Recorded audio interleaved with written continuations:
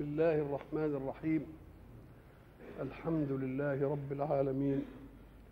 والصلاة والسلام على أشرف المرسلين وخاتم النبيين ورحمة الله للعالمين سيدنا محمد وعلى آله وصحبه أجمعين.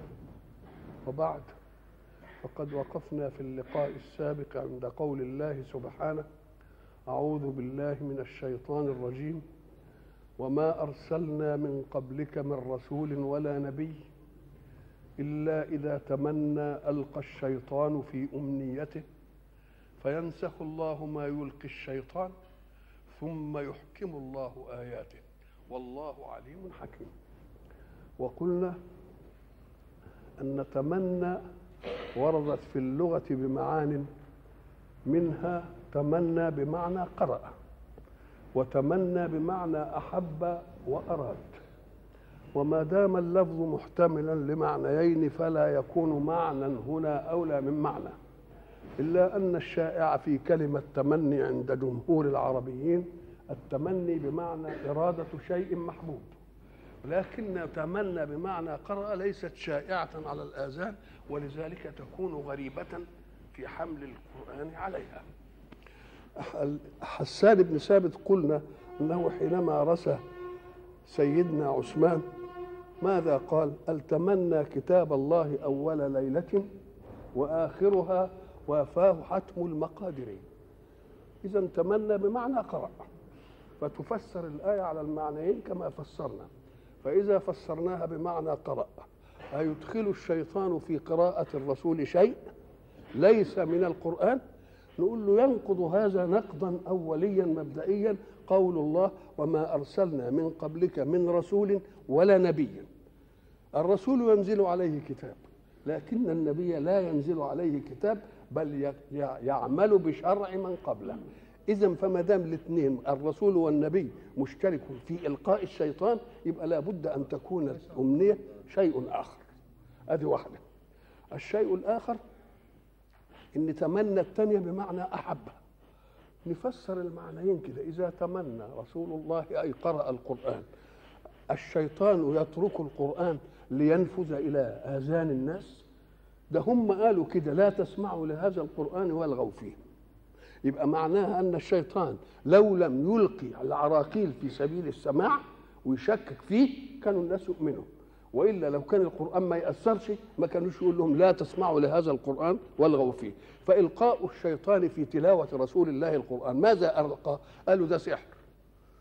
وبعدين قال شعر. وبعدين قالوا إيه؟ كهان وبعدين قالوا ده كذب وافتراء. وقالوا أساطير الأولين. كل دي إلقاء في إيه؟ إلقاء فيما تلاه رسول الله صلى الله عليه وسلم. لكن أظل الأمر كذلك. والناس فيهم إنه سحر والناس فيهم إنه افترى وإنهم كذبوا. ولا نسخ الله هذا من الناس؟ وبعد ذلك أوجد أناس يؤمنون بالإيه؟ بالقرآن. إذا صفت فطرتهم في استقبال القرآن. إنما الذي يعكر الفطرة في سماع القرآن أنه يسمع القرآن وفي قلبه شيء شيء آخر. إنما لو صفى قلبه من الشيء الآخر لأخذ القرآن طريقه إلى قلبه. وإذا أشرب قلبه القرآن يبقى ما فيش شيء. بدليل اننا استنشدنا زمان بسيدنا عمر. سيدنا عمر هو سمع القرآن. وبعدين لما راح لأخته وضربها ابتدى قلبه يرق. ليه؟ إيه اللي خلى قلبه يرق كده ويوم أم قال لك لأن في شيء زحزح العاطفة. زحزحة عن العداوة إلى الحب لأنه لما شفته مضروبة كده والدم نزل منه إيه؟ العاطفة الأخوة جت. فعاطفة الأخوة عملت إيه؟ صفت الطبع. لما صفت الطبع سمع القرآن فتأثر بالقرآن فأسلم. على طول كده. إذا ألقى الشيطان في أمنيته أي في قراءته في القرآن اللي بيتلوه محمد يقول عليه الأشياء اللي تنفر الناس من إيه؟ منه. طب وإذا كان المعنى الآخر؟ إلا إذا تمنى أي احب كل رسول يحبه وكذلك كل نبي. يحب إيه؟ إن المنهج منهج الله الذي جاء به الرسول أو اتبعه النبي يسيطر ويسوس حركة الحياة في الناس. لكن هل الشيطان يتركه ولا يلقي العراقيل والعقبات في سبيل ذلك؟ يلقي العقبات بالشهوات وتزيين النفس وهو إلى آخره. لكن أيظل الأمر كذلك ولا حدش يؤمن ابدا؟ أم قال لك ينسخ الله ما يلقي الشيطان وبعدين يحكي إيه؟ ولكلمه ألقى دي ساعة ما تسمعها اعرف إن في عقبات. والقينا بينهم الإيه؟ العداوة والبغضاء. إذا اعرف إن في إيه؟ عقبات بتوضع في الإيه؟ في الطريق. الذين قالوا إن رسول الله صلى الله عليه وسلم بشر والله يجري على بشريته. أشياء تثبت البشرية. وبعد ذلك يجي الأشياء اللي بتثبت البشرية دي الله سبحانه وتعالى يمحو آثار البشرية منها. عشان يبين لهم إن ربنا صنع رسول الله على عينه. حتى بشريته لما تهم بحاجه ربنا يتدخل ويقول له لا دي بلاش. ولذلك إنما أنا بشر بس لاحظوا إنه يوحى الي فإن كانت البشرية تديني شيء كده من زيكم ولذلك النبي عليه الصلاة والسلام قلنا انه قال إيه؟ يرد علي فأقول أنا لست كأحدكم ويؤخذ مني فأقول ما أنا إلا بشر مثلكم. اذا الرسول صلى الله عليه وسلم بشر لكن يوحى إليه. فيوحى إليه دي في عصمة بقى صيناه. إن جت البشرية تاخد حاجة ألو... ألو... العصمة الوحيية إيه؟ تعدل ولذلك لما جم قالوا الرسول سحر. يقول لك يا سلام بقى الرسول يسحر. سبعين محبين. إزاي إزاي الرسول يسحر؟ وبعدين طيب وحديث بقى بئر زروان وقال للعلي روح وطلع السحر وفي مشط ومشاطة وجف نخل طلعات ذكر. الله وطلعوه وبتاع وحاجات زي دي. طب يقول لك إزاي الرسول يسحر؟ أم قال لك ما أنتوش فاهمين. البشرية ربنا بده يعمل لها منفذ عند الرسول. لكن اتترك البشريه وحدها؟ لا في صيانة في قيوميه على عيني. معنى لتصنع على عيني يعني إن جت حاجة يعني كده نقول لها بلاش. وإلا لو كان الخلق مرة كده ما يقولش على عيني يعني أنا قاعد إيه؟ بس يسلك كده كل ما تحصل حاجة عبد الله. طب طب السحر ده إيه إيه اللي يجي فيه يعني؟ أم قال لك لأن الكفار كادوا لرسول الله كل أنواع الكيد. استهزاء سبابا اضطهاد اضطهاد أعدائه يرموا عليه الفرد كده بتاع الذبيحة مش عارف. اضطهد اضطهادات إيه؟ كتير. ومع ذلك انتصر دينه وبعدين تأمروا عليه بالليل عشان يخرجوه من مش عارف قال يقتلوه مش عارف. وإذ يمكروا بك الذين إيه؟ كفروا. عشان إيه؟ آه يعملوا فيك اللي ما هنعمل وبعدين ربنا عمل فيهم خلاهم كده قاعدين ومتربصين والفتيان قاعدين بسيوفهم وراح مطلعوا كده من بينهم وقال شاءت الوجوه وطلع منه. قال لهم ولو بيتم برضه ربنا هيبقى وياه طيب دي دي الاستهزاء والإهانة. وإهانة اصحابه دي عمل بشر واضح والتبييت عمل بشر برضه بس إيه؟ مستتر. خلاص كده إذ يبيتون ما لا يرضى من الإيه؟ برضه ربنا يفضح تبييته بقى ما مكنهمش في الأولى الجهرية ولا مكنهمش في الإيه؟ في التبييت. يقوم يجي يقول طب هنيجي هنخلي الجن هم اللي يشتغلوا بقى. ما دام هو قافشنا كده هنخلي الجن اللي يشتغل الله! يقوم يجي يجي واحد من اللي بيسحرهم يسحر ويعمل. وبعد ذلك يأتي الوحي لرسول الله ويقول له السحر في بئر, ذروان وفي على مشط ومشاطة. المشط أنتوا عارفينه والمشاطة بتاعت الشعر ياخدوا من شعر النبي ويعملوا له عليه اللي, اللي نام وبعدين لما ينفيس السحر ربنا بيه عايز بدي إيه؟ عايز بدي يقول لهم أنتم تكيدونه بنفسكم جهرا مش نافعه تكيدونه تبييتا مش نافعه تجيبوا الجن برضه يعملوا له برضه مش نافعه يبقى جاي عشان يثبت إيه؟ إن عين الله ما بتتخفى فإذا جاءت شيء من البشرية عشان رسول الله يبقى لها معنى إيه؟ أن الله لا يترك رسوله وإن كانت فيه بشرية إن البشرية حصل منها شيء ربنا يعمل إيه؟ فالجماعة اللي قالوا إنه إذا تمنى قرأ القرآن جاء الشيطان وألقى في قراءة الرسول بعض الآيات التي ليست من القرآن لكن أتركه الله أنتم بنفسكم اللي قلتوا كده قلت ربنا عدله ربنا إيه؟ عدله يبقى يبقى على هذا المعنى اللي قالوا كده بدهم يوضحوا هذا المعنى وأن الله لا يترك بشرية الرسول ليطرأ عليها ما يطرأ على البشر الإيه؟ على البشر العادي ولكننا نختار إن إن المعنيين يتمنى بمعنى قرأ يتمنى بمعنى إيه؟ بمعنى احب وتنتهي الإيه؟ المشكلة عشان في كتير من الناس عقولها ما تتسعش للمعنى الأخير لكنهم قالوه وبعد ذلك تبين إن ما فيش فيه حديث صحيح ابدا. ما فيش فيه حديث صحيح. وما أرسلنا من قبلك من رسول ولا نبي إلا إذا تمنى. ألقى الشيطان في أمنيته. بس خدوا بالكم من رسول ولا نبي دي في الرد. النبي ما بينزلش عليه كتاب. النبي مشترك في إيه؟ في إنه بيعمل بوحي الرسول اللي إيه؟ اللي قبله. يبقى ما فيش كتاب عشان تقول ده أرى ومش عارف. ارى وتنتهي المسألة. فينسخ الله ما يلقي الشيطان ثم يحكم الله آياته. والله عليم أي عليم بإيه؟ بكل كيد للشيطان وحكيم في علاج هذا الكيد. نعم. ليه طب الحكاية دي؟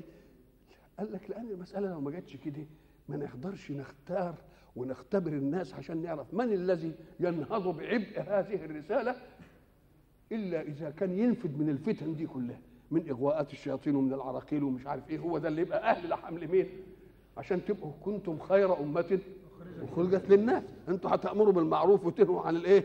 والمنكر وتعملوا العملية دي. فده لازم تكونوا إيه؟ الفتن لا تزعزعكم. تمروا الفتن تتعزؤون بالإيه؟ بالفتن. يبقى لازم يجيب فتن ابتلاءات واختبارات عشان يشوف من القوي في الإيمان. ليجعل ما يلقي الشيطان فتنة للذين في قلوبهم مرض. اللي في قلوبه نفاق يترسم عليه. ساعة بيقول سحر يقول لك أيوه ما هو السحر مش عارف. أي حاجة ما هو ليه؟ لأنه في نفسه شيء بده إيه؟ يخدمه. في قلوبه مرض يسمع الكلام ده.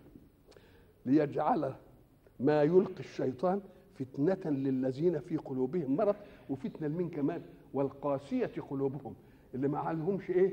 ليه؟ إيه؟ القساوة القلب تيجي من إيه؟ من إن القلب لم يتعود أن ينظر إلى الجميل عليه في الكون خلقا وايجادا والى آخره وقلبه كده ساعه ما يشوف الحاجات دي يستريح كده ويتبشرش بيها كده وبتاع. قلبه إيه قاسي؟ مش مش ناظر إلى من صنع له ما هو فيه. إنما لو كان كده ولذلك الولد الصغير لما يعرف الحنان من الأب ولا الحنان من الأم ومش عارف إيه يأنسوا بهم ومش عارف إيه طب خلي واحدة تانية تربي الولد مع إن أمه موجودة. داي الدادة اللي بيقولوا عليها دي وبعد ذلك شوفوا يبقى مع الداده ولا مع مع الأم. يبقى مع الداده وتقوم تتحايل عليه ما مع الداده قال لا. ليه؟ يبقى إذا النظرة إلى الجميل ترقق الإيه؟ ترقق القلب. فالقاسية قلوبهم لم ينظروا إلى الجميل الذي لقيهم في الكون. استقبلهم الكون بكل أنواع الخير. ومع ذلك ما إيه؟ ما التفتوش إيه؟ ما التفتوش له. والقاسية إيه؟ قلوبهم وإن الظالمين لفي شقاق بعيد. الظالمين ده ظالمين أول ظلم ظالمين أنفسهم. ليه؟ لأن ظلم النفس إنك أنت تنظر إلى منفعة عاجلة قليلة وتترك منفعة إيه؟ منفعة كبيرة ودائمة. يبقى ظلمت نفسك ولا لأ؟ ولكن إيه؟ أنفسهم إيه؟ ولكن الناس أنفسهم يظلمون. ما بيظلموش حد. وإن الظالمين لفي شقاق بعيد. الشقاق هو الخلاف. ونقول ده في شق وده في شق يعني مش ملتئمين مع بعض. ده في شق مش في شق واحد كده. لا ده في شق وده في إيش؟ أدي معنى الشقاق. وشقاق يا ريته هين لأن شقاق الدنيا يهون. يحصل شقاق بين الناس على وبعضها على إيه؟ على أمر من عرض الحياة. ده شقاق هين. إنما الشقاق البعيد بقى هو اللي يبقى أثره فين؟ أثره دائم وأثره فظيع هو ده الشقاق الإيه؟ البعيد. أدي بقى, بقى ليجعل ما يلقي الشيطان فتنة. أدي علة. علة ثانية. وليعلم الذين أوتوا العلم أنه الحق من ربك.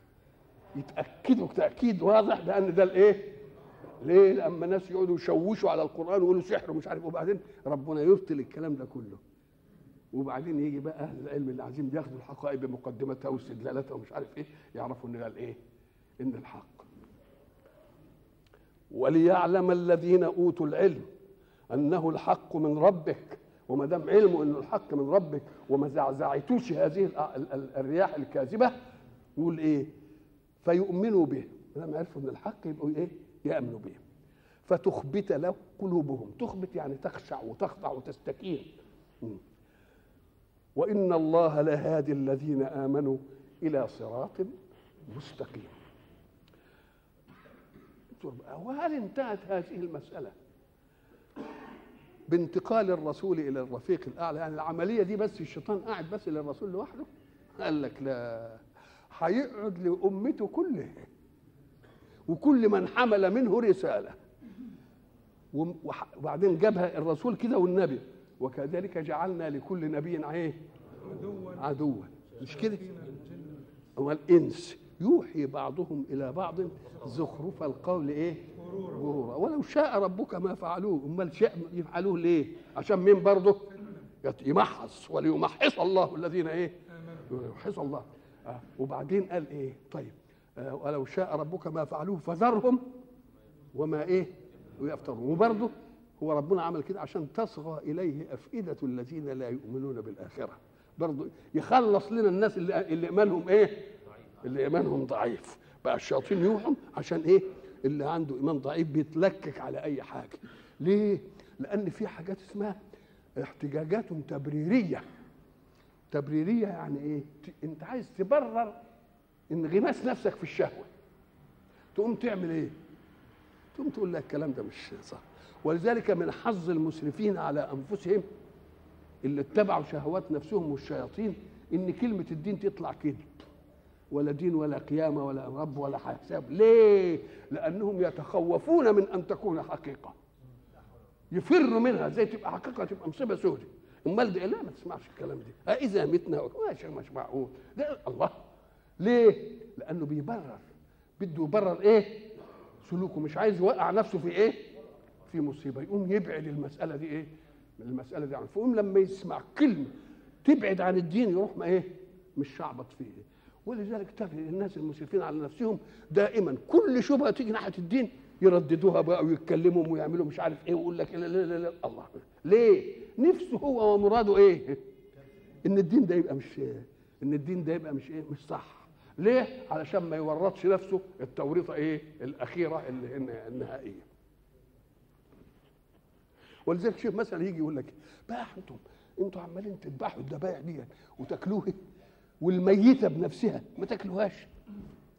يقوم بقى اللي, عنده بقى خميرة شرك وخميرة كفر. يقول صحيح يا أخي. يقوم هو يجيبوا لك علل كده يقول لك بقى اللي بيموتوا ربنا ما تاكلوش واللي أنتوا تموتوه بايدكم تاكلوه. شوف يعني بيجيبوا حاجة عشان تدخل على مين نقول له لا إحنا ما موتناش ولا قتلنا لأن في فرق بين الموت وبين القتل وبين الذبح. إحنا ذبحنا دي لأن اللي خلقها وخلقنا قال كل ده عليته لكم. مش قتلناه لأن القتل دي أنت تعتدي على واحد كده والقتل ده غير غير الموت غير الموت. ربنا ما ذبحوش كده قدامنا وبعدين قلنا له لا يا رب ما دام انت اللي ذبحته مش هناكله. ده مات. والموت غير الايه؟ الذبح. والذبح غير الايه؟ غير القتل. ليه؟ أم قال لك لأن القتل يختلف عن الذبح في الشيء أو عن الموت في شيء آخر. الموت أن تزهق الروح لتترك الجسد بدون فساد يقع في البنية. مش ضربته على راسه ومخه نزل ولا ضربته رصاصة قلبه راح لا هو إيه ما حدش قدم له. وهو مات كده يبقى اسمه مات حتف أنفه.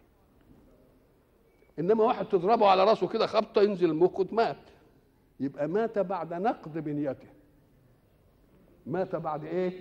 نقض بنيته يبقى في فرق بين الموت وبين إيه؟ القتل. القتل تنقض البنية أولا فتخرج الروح. الموت تخرج الروح أولا فتنقض البنية. خلاص كده؟ هات القرآن بقى. وما مح... أعوذ بالله من الشيطان الرجيم. وما محمد إلا رسول. قد خلت من قبله. أفإن مات أو قتل. يبقى فيه موت وفيه إيه؟ يبقى الموت إن الروح تخرج أولا. وبعدين بنية الجسم كلها تتبهدل. خلاص؟ تبقى تبقى رمة وتبقى تراب وتبقى لكن القتل نقتل البنية الأول نهديها وبعدين الروح تخرج منها. إحنا ضربنا مثل زمان عشان يعني نوضح ولله المثل الأعلى. قلنا مثلا النور إحنا شايفينه اهو. النور طاقة موجودة إلى الآن لا يعلمها إلا الله. إنما نعرف إزاي تيجي ونولد ونيجي إنما هي إيه برضه ما نعرفهاش. إلى الآن. وبعدين نحط اللمبة الإزاز دي تقوم يجي النور.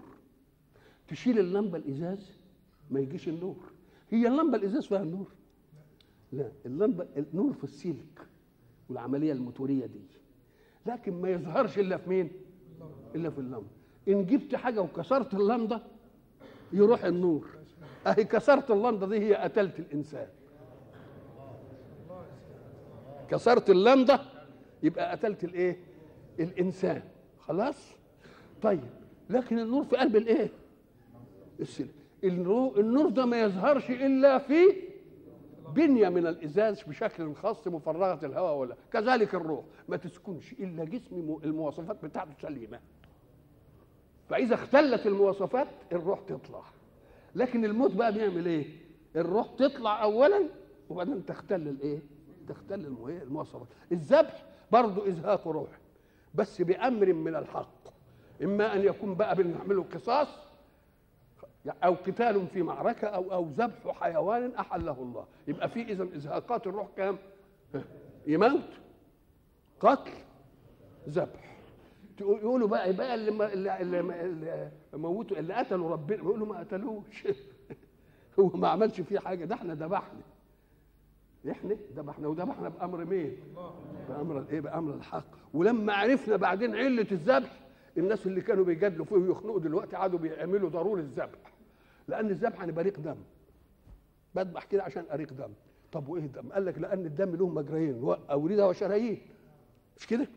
الدم لما بيتاخد الخلاصه قبل ما يمر على الرئة قبل ما يمر على الكلية فيه إيه؟ أشياء ضارة وسامة كتير يقوموا يمر على الحاجات دي عشان إيه؟ يغربلوا الدم ويبقى صالح لإدارة طاقة الحياة. فلما أنت تموت الماء حاجة تموت يبقى الدم الفاسد موجود فين؟ موجود فيه نقوم إحنا نعمل دي عشان الدم الفاسد وإن كان بينزل وهي دم صالح إنما بينزل الدم المين؟ الدم الإيه؟ الفاسد.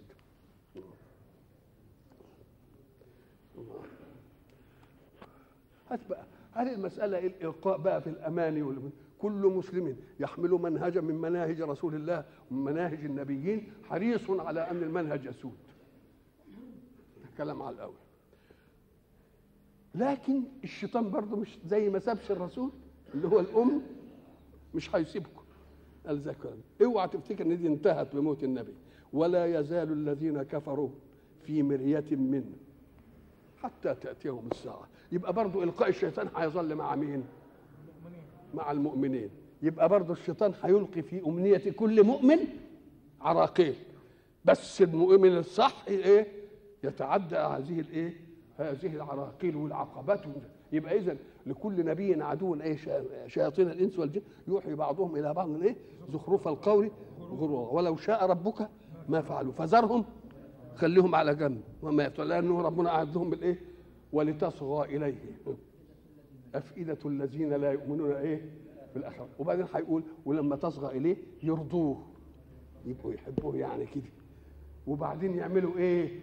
ويعملوا على إيه؟ على مقتضاه. ولذلك تصغى وليرضوه وليقترفوا ما هم إيه؟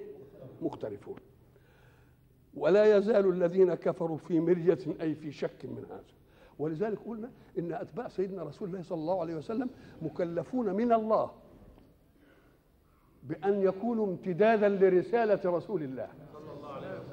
لتكونوا شهداء ويكون الرسول عليكم شهيدا. مش كده؟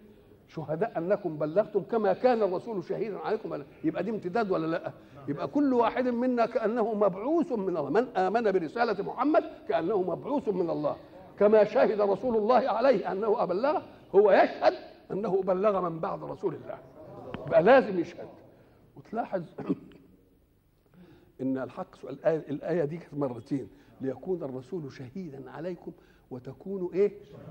وتكو آه الآية هنا إيه سيدنا المصيب ويكون الرسول عليكم شهيدا. مرة شا... الأول يجيب الرسول ومرة إيه؟ أنتوا على تكونوا شهداء على الناس. مش كده؟ لكن في آية تانية يقول إيه؟ إن الرسول هو اللي شهيد عليكم علشان تبقوا شهداء على الناس. ولذلك الحق سبحانه وتعالى حينما حملنا هذه الرسالة قال بقى يبقى ما دام أنتم حملتوا امتداد رسالة الرسول يبقوا لازم هتتعرضوا لما تعرض له الرسول. استهزاء وإيذاء وإلقاء في أمنياتكم لكن إحنا زي ما ربنا قال فينسخ الله ما يلقي الشيطان إن صمتم ربنا ينسخ ما يلقي. ولذلك الآية دي بتقول إن هيظل الإسلام إلى أن تقوم الساعة. يوجد فيه ناس يعملوا إيه؟ يقعدوا بقى يشككوا بقى في الإسلام. أولا برضه موجود إلى الآن. ناس يشككوا في الإيه؟ في الملحدين يشككوا في وجود الله. يقول لك الطبيعة هي التي خلقت كل شيء. حتى يتسرب إليهم هذا الاعتقاد فيما يكتبون من قضايا العلم التجريبي. يقول لك والحيوان ده البيئة أمدته بلون علشان يتنسجم مع البيئة. الطبيعة أمدته. برضه إلحاد حتى في العلم التجريبي. ما أبعدوش العلم التجريبي عن الإيه؟ عن الحكاية دي. يقول لك ده النبات بيتغذى بخاصية إيه؟ الانتخاب. إيه يا أخويا خاصية الانتخاب؟ يعني إيه خاصية الانتخاب؟ أما قال لك يا أخي إحنا بنزرع الشجرة الحلوة والشجرة المرة والشجرة الحارة والشجرة الحريفة والشجرة مش عارف إيه ويسقى بماء واحد. ونفضل بعضها الشعيرات بتاع الجذور واحدة.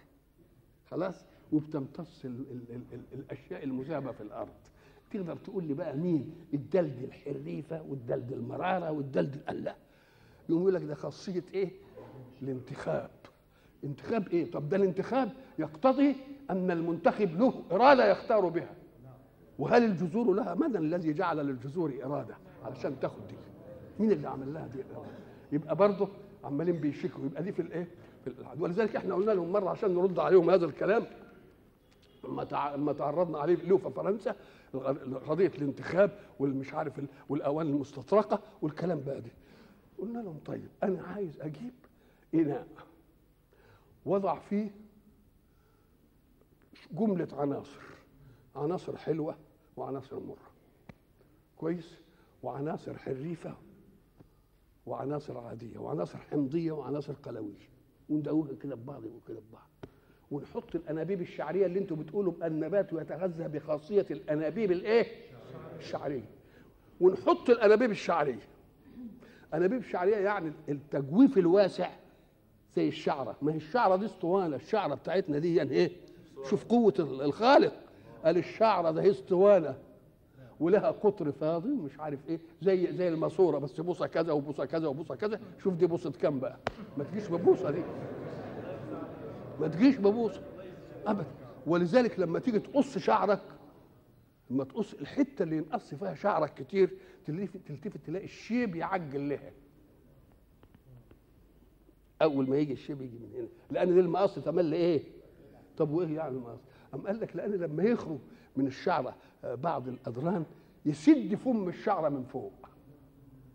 خلاص؟ يقوم لما تحط كلونيا ولا تحط صابون ما ينزلش في الماسورة. لأن دي لما تنزل تحرق البويصلة الملونة للشعر.